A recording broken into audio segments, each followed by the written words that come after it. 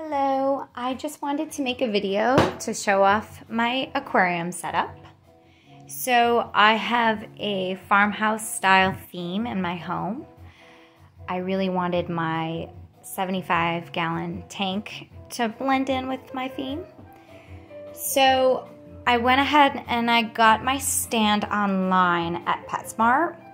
It's a whitewash wood and it has these really cool sliding doors. So you could actually have it set up like this if you want, or you could have it set up like this. It's really up to you. So I've got mine open like this, and this is where you would put your canister filter. You've got the cutouts, and there's cord management in the back. I have a hang on the back filter, so I don't need any of that. So for me, this whole bottom is storage. All three shelves are movable, so you can adjust the height of them. By the way, this is not a sponsored video. This is just a product that I found and purchased myself. Um, the tank I got at Petco, they tend to keep 75 gallons in stock, so it's really convenient to just head on over there and pick it up and bring it home same day. The lids are purchased separately and it comes in two lids in a kit. Um, the light I purchased at Petco and it's really cool because it has this remote.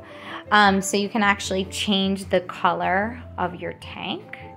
So you can have green, blue, a soft white, a red, an orange, a purple, a pink, and a yellow. Um, your sand should be white or a white gravel to really make the most out of this light. Um, it wouldn't be the same if you had a different color gravel. But for me, I always have white sand in my tanks, so. Um, you can also have the white LED light on and then just tint the background color. So you can have a combo of the white LED and a purple or a blue or a green and just switch it up. Or you can shut the whole thing off and just have a moonlight on, which is also cool. Um, the light is also good for plants. So for for um, aquatic plants, it's supposed to help give them everything that they need as far as lighting requirements grow, go so that they can grow. Um, I prefer my plants on top. Um, anybody who has fish tanks knows that you need to have plants to have clear water. It's they go hand in hand. So if you want no maintenance plants, um, your best bet is to get some pothos, and there's so many varieties of pothos that you can get. Um, or I have a philodendron, Brazil, I have arrowheads, um, a wandering Jew. This is a snow queen pothos. Um, I've got a jade. You can, any of these are fine. You can buy them basically anywhere and gently unpot them, rinse their roots out, and then dip them into your tank. And they'll be happy. Your tank will be clear and clean. Um, and they give you air. So it's a win-win for everybody. but um, if you really want to get into aquascaping, lighting matters. So um, if, uh, who knows, I might be, you know, going into that realm soon. Um, so yeah, it's a 75 gallon. I have a community tank. So um, mollies, platies. I've got black skirt tetras. Um, of course, I've got Corys. Where are my Corys at? There's one.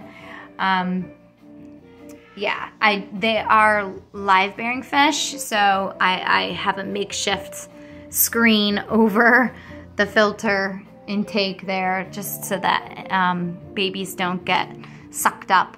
Um, this is my little nursery in the corner here. So I've got a lot of uh, plants close together and I've got a floating one up there. So there are a couple baby mollies in here right now. I don't know if, oh, there's one. Yeah, so they like to go in there. Actually, at nighttime, my platies prefer to sleep in here. All of them, they just get right in and they just rest on the leaves and sleep. Um, but yeah, so I do have a fry tank. So this setup is basically to kind of capture any new fry that happen to be born before I can get to them. So yeah, so this is my tank. Um, I really wanted my my tank to just blend in with the rest of the house and look nice. Um, it's my favorite part of my house. You you walk in the door and you're like, wow, look at this. Um, I love it.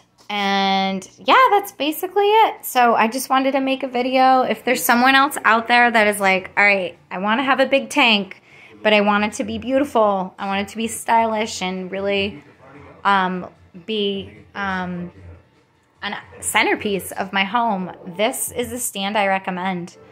So um, that's it. All right. Well, thank you for watching, and I hope you enjoyed.